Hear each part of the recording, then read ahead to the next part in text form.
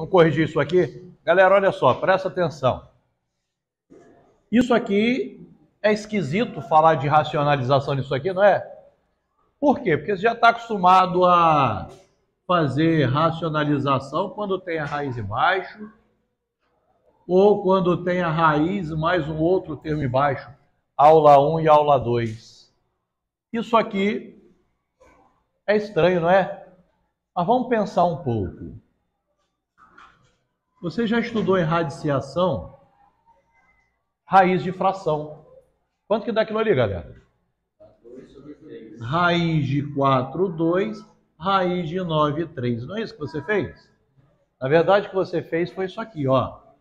Raiz de 4, raiz de 9. Você separou as raízes. Concorda ou não? Pronto.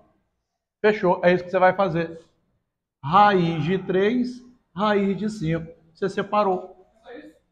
Agora você já sabe, só isso mesmo. Ó, multiplica por raiz de 5, multiplica por raiz de 5. Raiz de 3 vezes raiz de 5, raiz de 15. Raiz de 5 vezes raiz de 5, raiz de 25, que é 5. Blim blam. Isso vai virar isso. Então, resumindo, quando você observar que existe uma raiz de fração, você consegue racionalizar só o de baixo. Ué, como é que eu faço isso? Separo o de baixo com o de cima e racionaliza só o de baixo. Então aqui como é que vai ficar, galera? Raiz de 1 e raiz de 8, é ou não é? Olha que coisa linda. Raiz de 1 você sabe, é 1. E agora, para racionalizar a raiz de 8? Raiz de 8 vezes raiz de 8. 1 vezes raiz de 8, raiz de 8. E raiz de 8 vezes raiz de 8? Raiz de 64, que é 8. Só tem um problema ali. Qual é o problema? Alguém sabe? Por que, que eu não encontraria essa opção para marcar X? Porque tem que simplificar a raiz de 8. Pode por 2, pode por 2 e pode por 2. Então aqui nós temos 2 raiz de 2 sobre 8. Mas olha só que coisa, hein? Você acha isso, não tem isso lá não. Aí você resolve para isso, não tem lá não. Aí você resolve para isso, também não tem não. Por que, que não teria isso aqui, galera?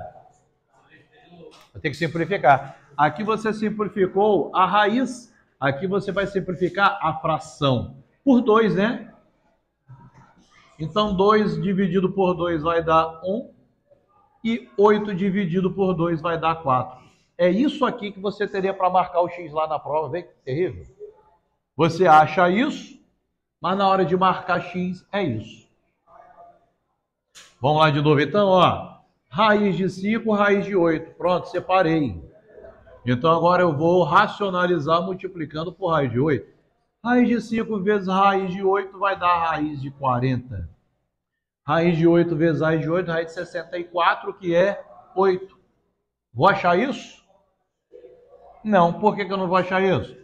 porque eu tenho que simplificar a raiz de 40.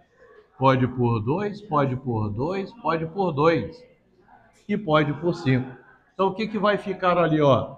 Esse par vem para fora, esses daqui ficam, então vai ficar 10 aqui. Também não é isso que eu vou achar. Vou achar o quê? Simplifica por 2. Então eu vou achar raiz de 10 sobre 4. É isso aqui que você vai achar lá para marcar x.